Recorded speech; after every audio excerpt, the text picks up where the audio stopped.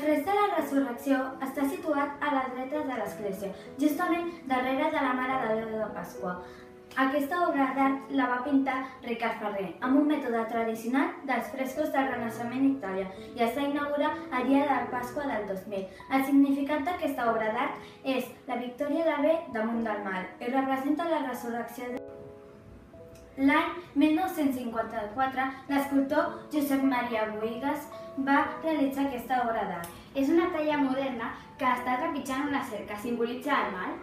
Eh, aquesta, aquesta talla va, va ser pensada per fer una processó aquí a Blanes coneguda com la processó de l'Àngel. Passa per molts carrers de Blanes fins a arribar a una plaça. Llavors, un àngel canta el Resurrexit, una bella melodia que fa saber a Maria que el seu fill ha ressuscitat.